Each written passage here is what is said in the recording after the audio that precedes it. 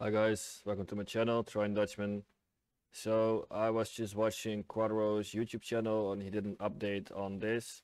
This is how much you are, as of now, going to get back in terms of silver for soldiers that you have. So tier 1 and level 1 will give you 2650 silver. And right now buying one of these, no matter the tier, they only cost one silver order and the troops the orders themselves are gonna sell for 1000 so if you have any silver orders you can keep them like I was intending to do until I saw that video from Quadro.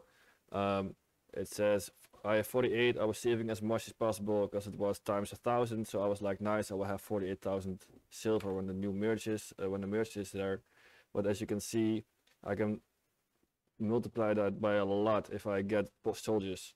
So what I would recommend is go to where your highest soldiers are. For me, that's Normandy.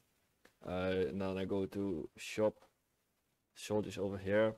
And then I'm the highest that I have right now unlocked is the sniper 3 i just unlocked that so i can buy this for basically 1000 silver in the new enlisted um, and then it's tier 3 and it's only level 1 that would give me 8150 silver. So that's a time times 8.15 basically because it goes from 1000 to 8150 so i would definitely recommend doing that and you can just fill your reserve on every nation. Like over here i have 33 left in my well i have 22 left in my reserve.